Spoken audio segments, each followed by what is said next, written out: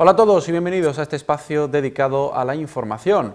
El próximo jueves 2 de enero el Ayuntamiento de Manilva celebrará un pleno de carácter ordinario a partir de las 11 de la mañana.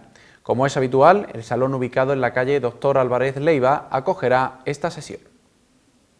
El orden del día se compone de cinco puntos. El primero de ellos se refiere a la aprobación de las actas anteriores correspondientes al día 7 de noviembre pasado.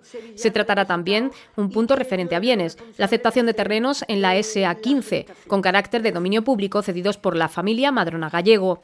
En cuanto a urbanismo, se lleva a pleno la modificación de la ordenanza reguladora del procedimiento de licencias de uso, de ocupación y utilización de los edificios o elementos susceptibles de aprovechamiento independiente, establecimientos e instalaciones en general, así como la modificación de su uso total o parcial. En el apartado de Hacienda se debatirá la solicitud de anticipo de la participación en los ingresos del Estado, los PIES 2014. Antes de finalizar, se pasará al apartado de ruegos y preguntas.